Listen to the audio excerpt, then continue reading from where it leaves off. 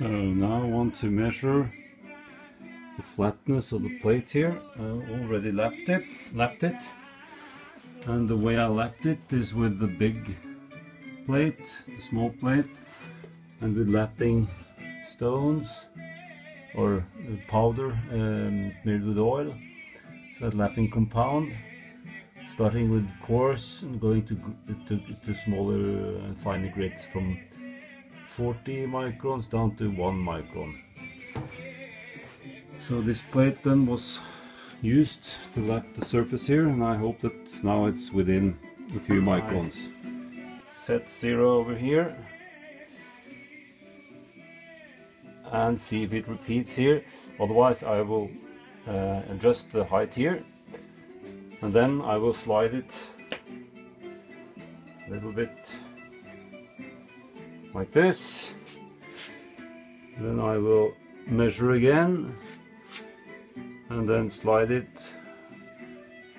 all across here.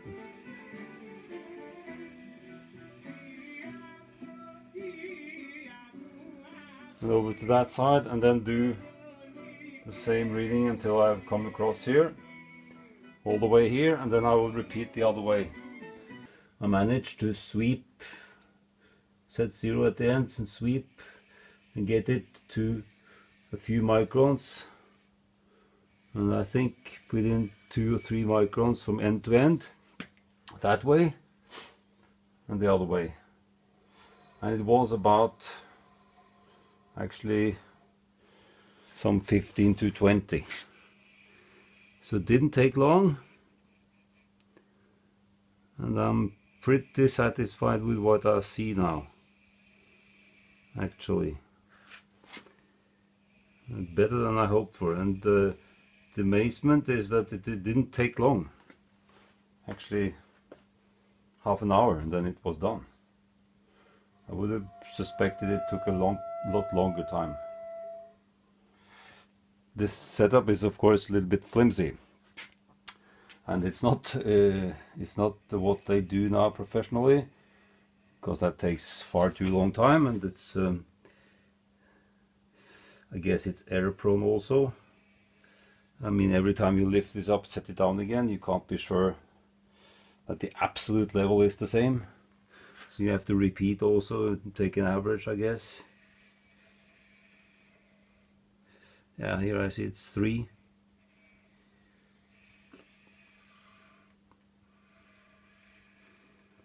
so we're up to three three microns but I think that's that's uh, that's way better than I thought.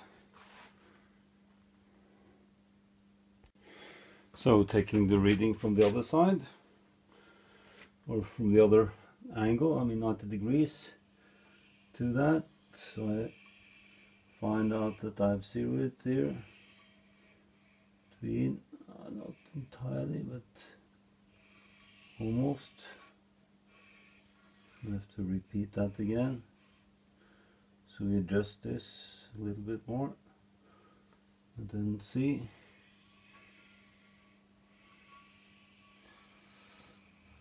yep. Of course you can't measure the extremes here but you zero it here. So assuming that that is good enough slide it carefully over.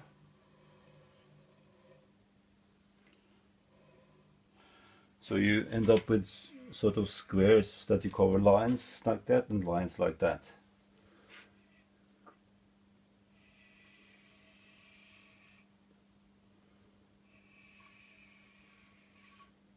Yep. There was a big big hole here before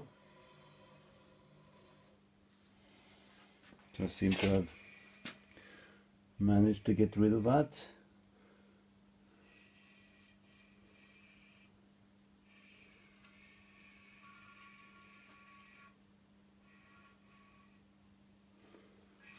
Yep.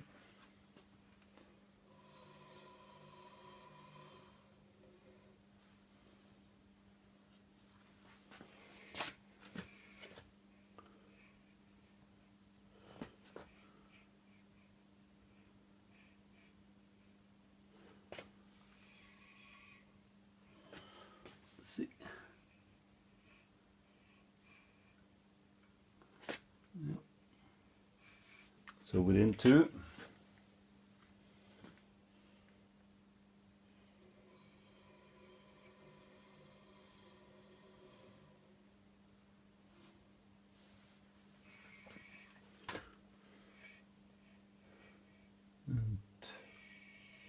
Hmm, really good. Two to three microns. That's way better than I thought possible.